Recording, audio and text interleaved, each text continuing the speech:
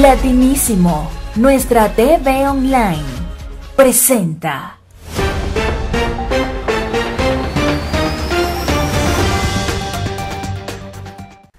Muy bien amigos, aquí estamos una vez más con usted a través de Latinísimo TV. Jimmy Alvarado, a nombre de todo el equipo, muy profesional por cierto, que hace posible que lleguemos a usted a través de Latinísimo TV. Muchísimas gracias.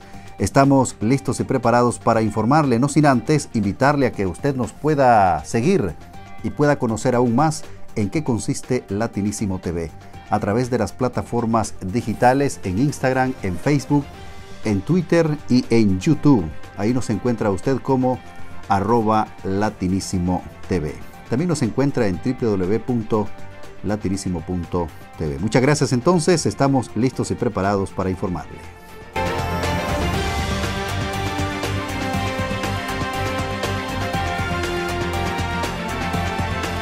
Antes de iniciar con las informaciones en Info Latina, queremos invitarle para que usted conozca un poco más en qué consisten los servicios de Maurice Aesthetic. Allí encontrará lo mejor en estética en París, Francia. Tratamientos con máscara LED, dermapen, plasma rico en plaquetas, botox, liposucción sin bisturí y una larga lista de servicios que esperan por usted. Puede seguirlos por Instagram y Facebook como Maurice Aesthetic para conocer sobre todo promociones y reservar su cita. Así que ya sabe, Maurice Aesthetic espera por usted en París, Francia.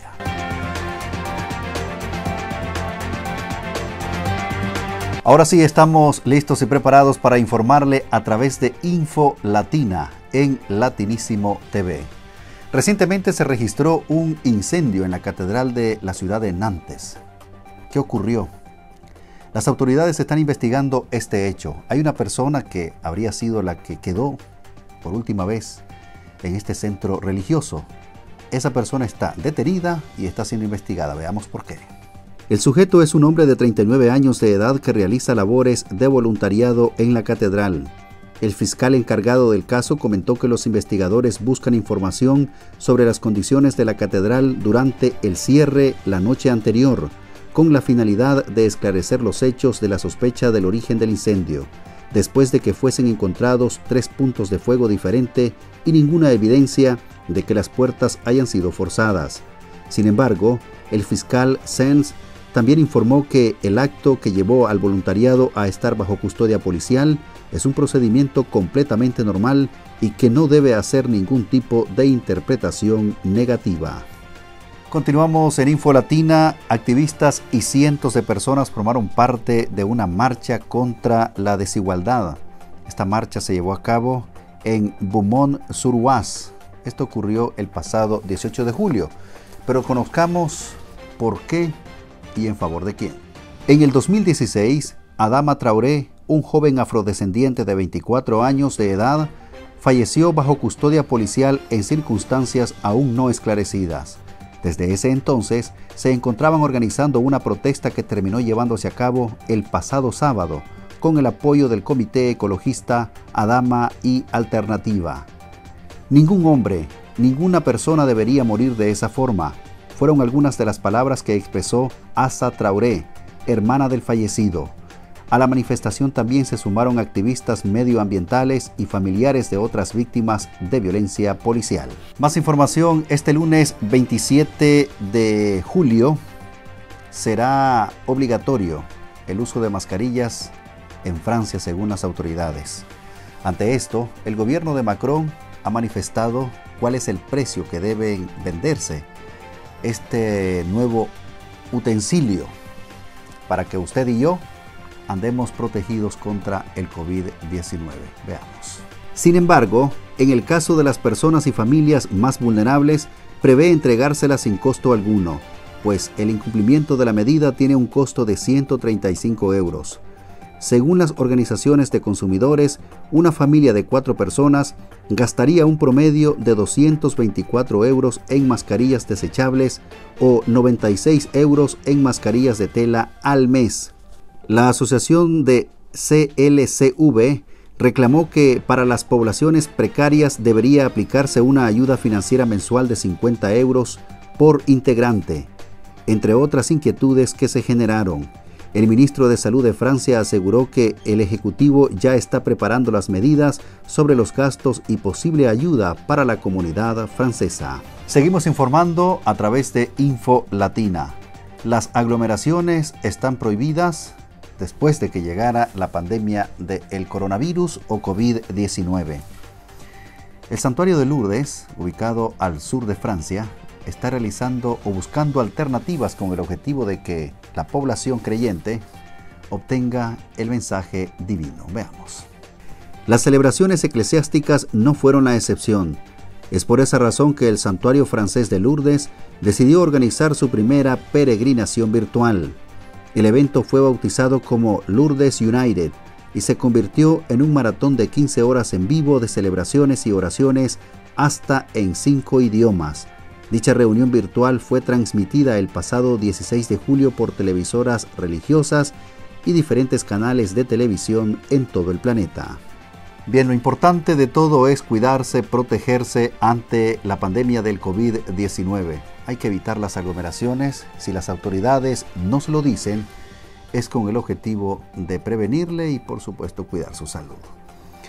Vamos a una pausa. No olvide que nos ubica en las diferentes plataformas como arroba latinísimo TV. Además, encuentra una variedad de programas en la plataforma, por supuesto, de Latinísimo. La pausa y volvemos con más. Entre los latinos nos entendemos, pero en Latinísimo TV todos hablamos bla bla latino, conducido por el popular Lolito que les brindará el mayor entretenimiento y diversión en tu idioma. Disfruta del sabor latino con invitados especiales, porque nuestra cultura llegó a tu pantalla para quedarse. Latinísimo TV. Imagina una vida llena de armonía en la que puedas comenzar de nuevo, lograr crecimiento personal y profesional respirar paz en cada uno de tus pasos. Mauricio Pineda quiere llevarte por el camino de la vida plena, con los conocimientos y recomendaciones que te permitirán alcanzar lo que siempre has soñado. Solo aquí, con el mejor coach de París, en plenitud universal, por Latinísimo TV.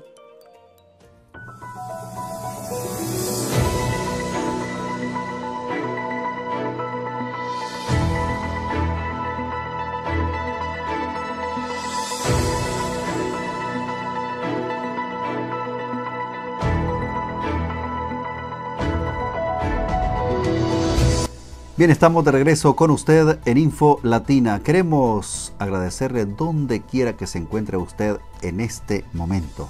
En nuestra bella, amada y recordada América Latina, un saludo muy especial para usted. Las informaciones de carácter internacional. Casi 2 billones de euros es el presupuesto que acordó la Comunidad Europea para enfrentar la crisis por el coronavirus. Cuatro días y cuatro noches fue el tiempo de negociación que se necesitó para que los líderes de los 27 países que integran la Unión Europea lograran cerrar el acuerdo que tiene vigencia hasta el 2027. Se espera que el plan logre ayudar a recuperar la economía de los países que se encuentran sufriendo significativas recesiones económicas por la alteración que trajo como consecuencia la pandemia del coronavirus. Macron, quien fue la cabecilla del acuerdo junto con la canciller alemana Angela Merkel calificó la resolución como un día histórico para Europa. Seguimos informándole ahora desde América Latina, porque más de 90 mil venezolanos es la estimación que están haciendo las autoridades, los que han regresado a su país natal producto de la pandemia del COVID-19. Ante la imposibilidad de conservar sus empleos y hogares debido a las medidas de aislamiento para evitar la expansión masiva de la pandemia, a miles de venezolanos se les ha hecho cuesta arriba mantenerse en los países de acogida, razón por la que han tenido que retornar a tierras venezolanas. Vinimos asustados porque de verdad cuando vimos esa broma ahí en Quito, que primero fue en Guayaquil, Después empezaron a llegar esto, epidemias a, Quito. Cuando vimos nosotros el primero que se desmayó ahí, cayó muerto un señor y una señora. Entonces nosotros vámonos, vámonos, vámonos y nos vinimos de una vez. La entidad migratoria de Colombia informó que para el pasado 21 de julio, más de 90.000 venezolanos han partido de forma voluntaria a través del puente internacional Simón Bolívar. Del 100%, eso equivale a un 76%, especulando que el porcentaje restante ha abandonado el país de manera irregular desde otros puntos fronterizos. Más información, un hombre está siendo acusado de terrorismo. ¿Por qué? Este sujeto secuestró un autobús. En este habían varias personas a bordo y amenazaba también con detonar explosivos. Conozcamos dónde ocurrió este hecho. El pasado 21 de julio, un hombre que se hacía llamar Maxime Plojois, o mejor dicho, el malo, secuestró un autobús que llevaba 13 pasajeros en la ciudad de Lutsk, el viceministro del Interior ucraniano informó que el hombre de 44 años, oriundo de Rusia, fue acusado de terrorismo, toma de rehenes y posesión ilegal de armas, granadas y explosivos. El sujeto identificado como Maxim Krivos ya se encuentra en prisión. Comentó a su vez que un residente de Kharkov fue detenido por complicidad con el ataque, pero este accedió a cooperar con la investigación. Entre las penas que pueden aplicarse ante estos casos se encuentra la cadena perpetua. Seguimos informando desde América Latina. El Tribunal de Justicia en Ecuador ratificó la sentencia de ocho años de cárcel para el expresidente Rafael Correa.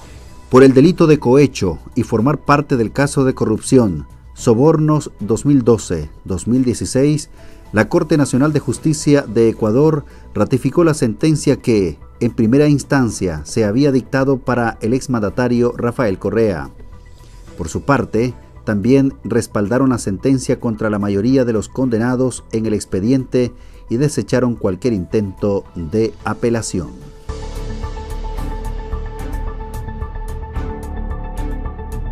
Bueno, vamos a continuar con información y un caso bastante inusual se registró en Grenoble, esto es en Francia. ¿Qué pasó? unos niños sobrevivieron de milagro. Saltaron desde un edificio. ¿A qué altura? Aquí se lo contamos. La prensa local francesa informó el miércoles que los hermanos de 3 y 10 años salieron ilesos por la caída, pero que posiblemente inhalaron humo. Las imágenes del dramático rescate del pasado martes mostraron que uno de los hermanos fue arrojado desde una ventana que estaba a unos 33 pies de altura mientras las llamas envolvían un balcón y salía humo negro. A gritos de los espectadores, el hermano mayor salió por la ventana y se dejó caer a los brazos de los rescatistas reunidos abajo. Los niños fueron hospitalizados junto con otros 17 residentes del edificio. Según medios franceses, cuatro de las personas que atraparon a los niños también fueron hospitalizadas para verificar si se habían lesionado por el impacto al recibir los menores con esta bonita, agradable y alentadora noticia. Sobre todo son niños. El futuro no solamente de Francia, sino del mundo. Estamos llegando a la parte final de Info Latina. Muchísimas gracias a nombre de un maravilloso equipo, encabezados por Jonah Cabrera. Está también con nosotros Andri, eh, Claudia Olvera también, todos bajo la magistral dirección de Mauricio Pineda. Muchas gracias. Jimmy Alvarado invitándole para que la próxima ocasión usted nos pueda acompañar e informarse con Info Latina. Recuerde que estamos en todas las plataformas digitales, en Instagram, en Facebook, en YouTube y en Twitter. Ahí nos encuentra como arroba latinísimo TV, www.latinísimo.tv también es el portal digital que usted debe visitar. Si Dios lo permite, será hasta la próxima.